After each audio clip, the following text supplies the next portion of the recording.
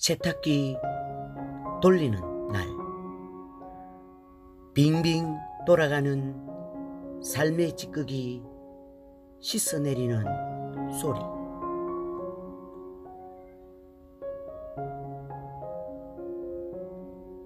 아내가 볼멘 표정으로 세탁기 돌리는 날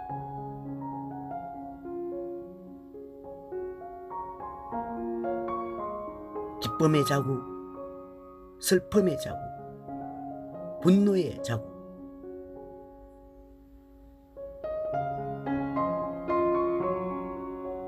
통속 원심력에 분해되는 순간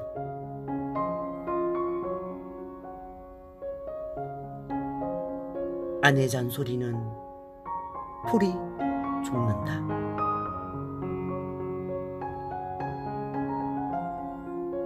배수구로 흘러나오는 짙은 속내가 하얀 포말로 복을 그리면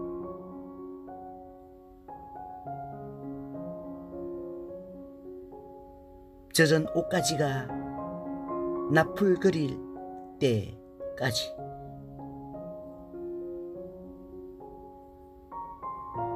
몇 바퀴 돌린 다음에야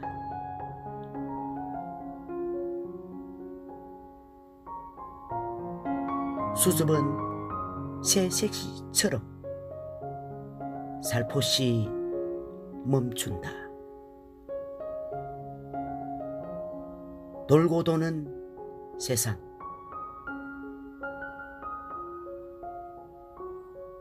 몇 번을 더 돌려야